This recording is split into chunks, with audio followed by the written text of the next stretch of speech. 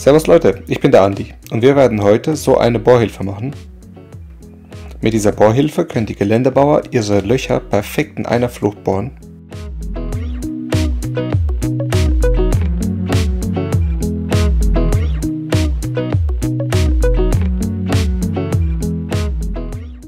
Die Bohrhilfe besteht aus PEHD und lässt sich mit einem Nutenstein hervorragend auf der Aluschiene hin und her bewegen.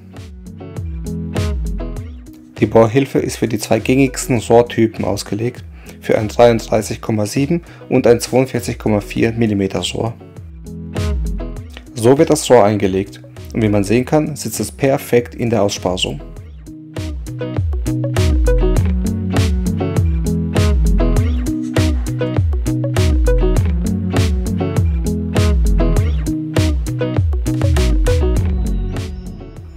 42er Rohr hat etwas weniger Auflagefläche, sitzt aber dennoch absolut spielfrei in der Bohrhilfe.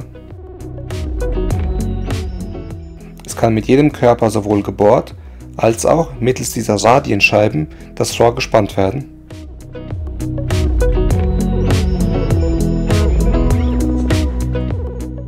Dazu werden allerdings noch diese Gegenhalter benötigt.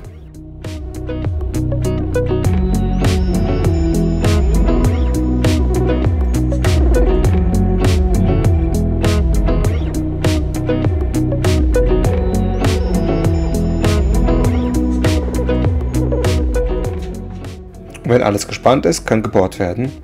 Die Zentrierbuchsen sind passgenau und sorgen dafür, dass das Loch perfekt ist. Noch ein bisschen was fürs Auge, ein gerendertes Bild.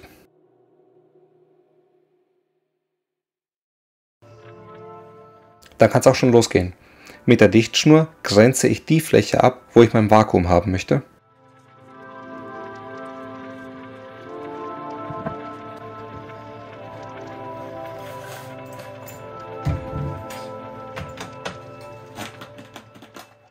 Nachdem das getan wurde, kann auch schon das erste Werkzeug eingelegt werden, ein Planfräser mit einem Durchmesser von 35 mm.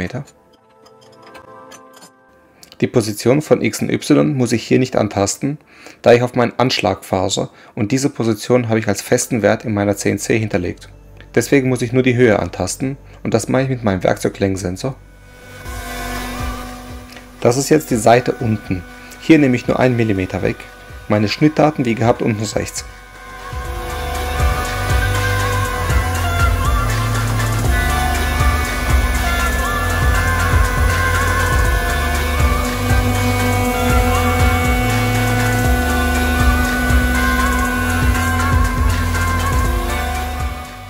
Das hier wollte ich euch nicht vorenthalten. Schaut mal, wie die Späne fliegen.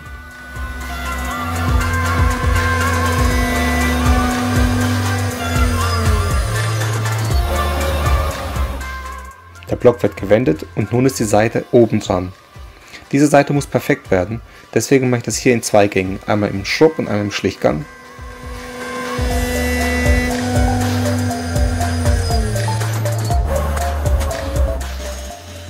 Schaut euch mal die Späne an.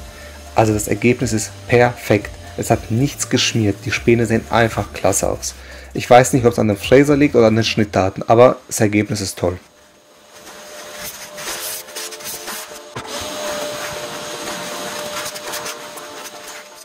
Das zweite Werkzeug ist ein richtiger Exot, ein 6 mm Einschneider. Das Besondere ist sein Freischliff. Der Schaft ist etwas schmäler als die Schneide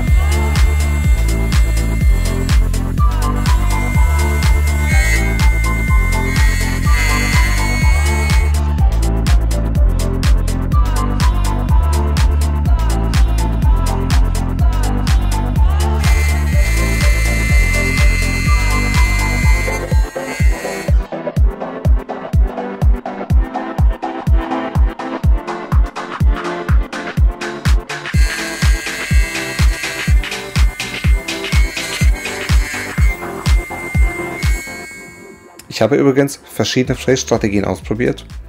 Die ersten drei Bohrhilfen mit einer Zustellung von 2 mm und etwas langsamer. Das vorletzte mit einer Zustellung von nur 1 mm, aber dafür sehr schnell. Und das letzte Stück habe ich mit einer Zustellung von 1,4 mm gefräst und ich muss sagen, das war einfach perfekt. Das waren die perfekten Einstellungen.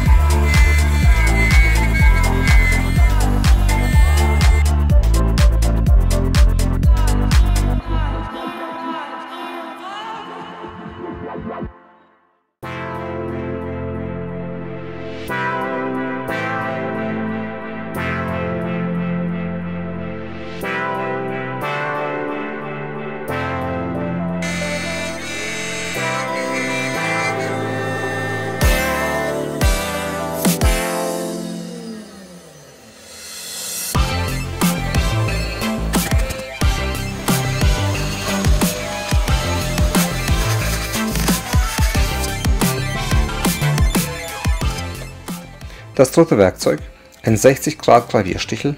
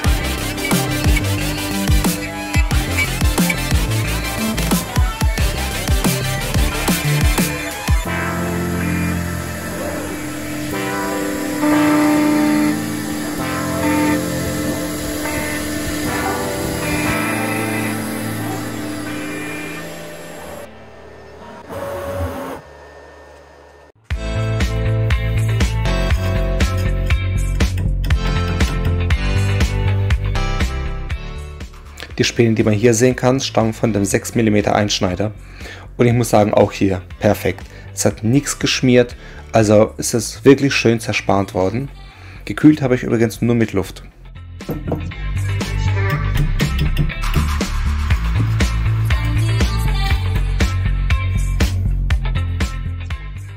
Die Teile ließen sich hervorragend lösen durch leichtes Hin- und Herbewegen und dem Messer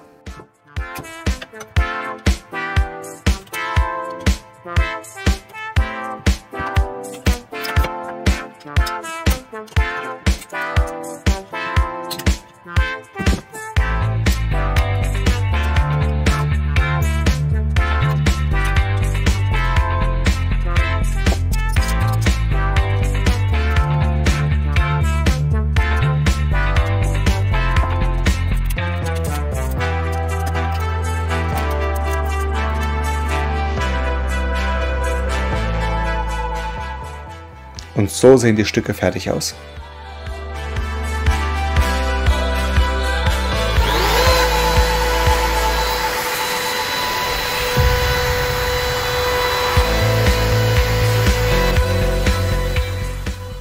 Mit der Kantfräse erhalten sie noch eine hübsche Phase und mit dem Bunsenbrenner werden noch ganz leichte Späne und so abstehende Plastikstücke abgeflammt.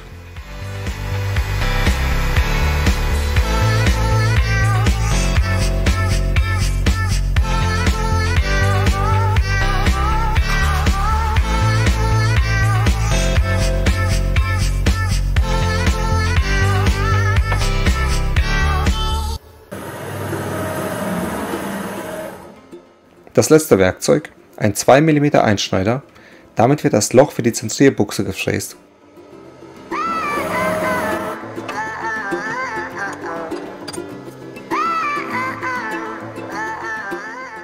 Zum Bestimmen der Nullpunkte von x, y und z verwende ich hier die Papiermethode.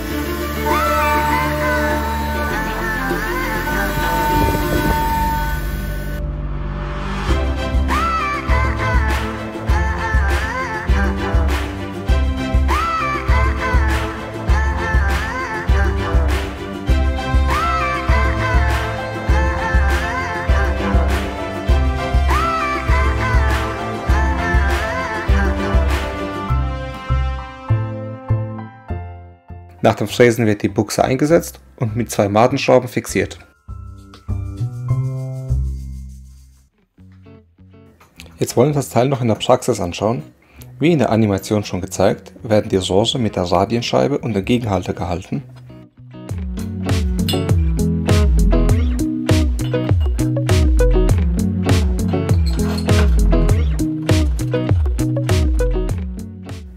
Das Rohr geklemmt wurde, kann es auch schon losgehen. Wir bohren das erste Loch.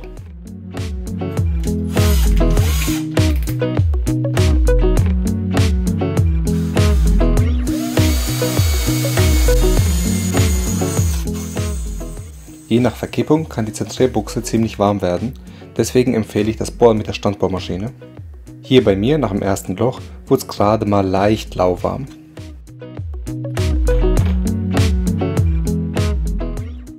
Hinten an der Bohrhilfe gibt es ein Assortierungsloch. Damit kann das Rohr um 90 Grad gedreht und verstiftet werden.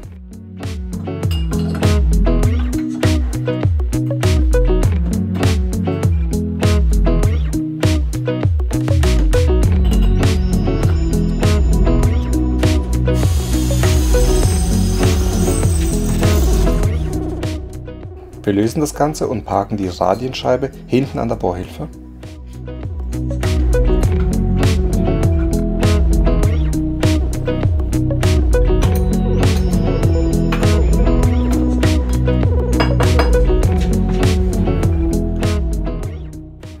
Und so sieht das Ergebnis aus.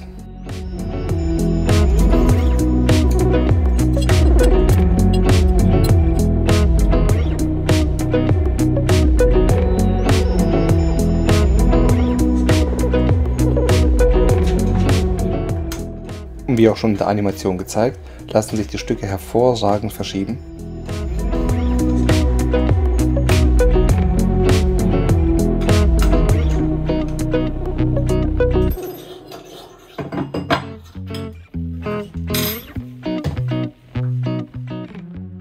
Diese ganze Vorrichtung habe ich dreimal gebaut. Und dieses Exemplar hier steht zum Verkauf. Genauso wie es auf dem Bild zu sehen ist. Bei Interesse könnt ihr euch gern bei mir melden.